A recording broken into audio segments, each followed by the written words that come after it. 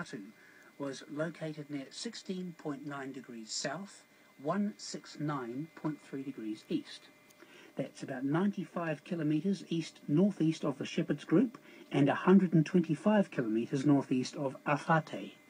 Tropical Cyclone Atu has been almost stationary for the last three hours. The central pressure of the system is estimated at 976 hectopascals. Winds close to the centre are estimated at 110 kilometres an hour, that's 60 knots, possibly increasing to 125 kilometres an hour, 70 knots, in the next 6 to 12 hours. The system is forecast to be at 17.3 degrees south, 169 degrees east within the next 6 to 12 hours. Damaging gale force winds of 75 to 105 kilometres an hour are still expected to continue affecting southern Penama and Malampa provinces. Destructive force winds of 90 to 130 kilometres an hour are now expected over the north of Shefa province. Winds of similar strength will spread to the rest of the province later tonight. Destructive hurricane force winds of 125 to 185 kilometres an hour may affect the whole of Shefa province later tonight or early tomorrow as the system moves slowly southwards. Damaging gale force winds of 75 to 105 kilometres an hour will affect Tafea province in the next 12 hours with destructive hurricane force winds of 125 to 185 kilometres an hour affecting Tafea province in the next 12 to 24 hours.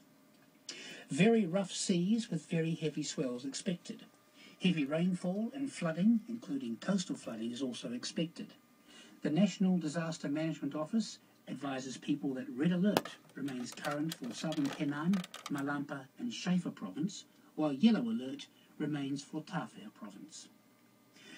The Vanuatu Meteorological Service will issue the next warning for this system at 6 o'clock tonight.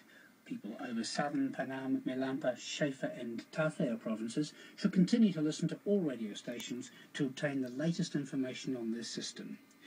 Also note that the warning and the forecast track map are available on the Vanuatu Government's meteorological website www.meteo.com www.gov.vu. That website address again, www.meteo.gov.vu. Please take care out there. We're rejoining Radio New Zealand National with Te Ahi Kaa. In our particular area was a descendant of Te Aupui. And if we have a look at leadership amongst the northern people, you could always count on the fact that the greater spokesman always came Aupui.